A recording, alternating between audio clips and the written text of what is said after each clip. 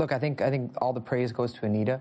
Yeah. Um, I just I don't really need to say anything else because I think everybody's praised it so much and all her beautiful writing. But um, what Adam said is so true: is that going to India is such a sensory experience. Everything just hits you in the face, be it the sights, the smells, the sounds, everything. And if I could describe this writing, it's very earthy. It's very textured.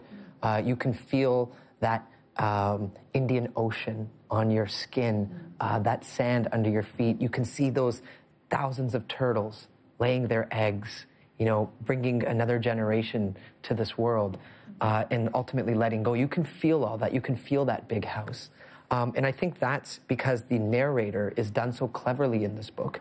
The narrator in this book really moves us in and out of these very complex perspectives, and that's really the beauty of it. Whereas the writing is simple, but yet it's not simplistic.